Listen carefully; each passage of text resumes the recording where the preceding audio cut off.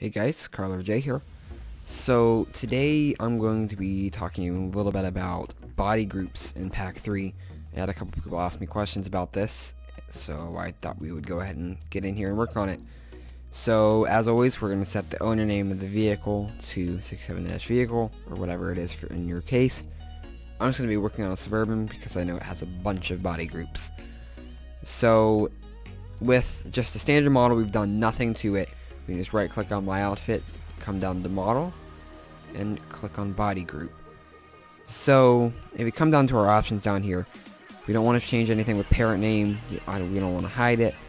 Go down to the body group name, click three dots, we will have this menu pop up. You can just move it around, I'll move it up to here so you guys can see it.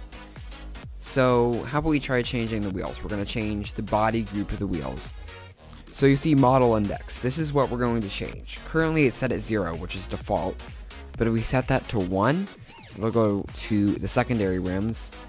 Or if we set that to 2, it'll go to these. And if we set it to 3, it'll be our third option.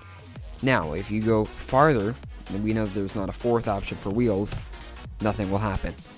So if we come back down to 0, and then we jump back up to 4, it's just going to start, start from the last option. So the last available option was option 3 with no wheels available. So even if we jump to 57 or something, nothing's going to happen. So, let's just say we want to have police rims here, and we'll just come up to body group and we'll clone it. And we will set this back to zero, and we will change the body group. Let's do the, the boot, which is a little trunk. So you can ro be rocking as many of these as you actually want.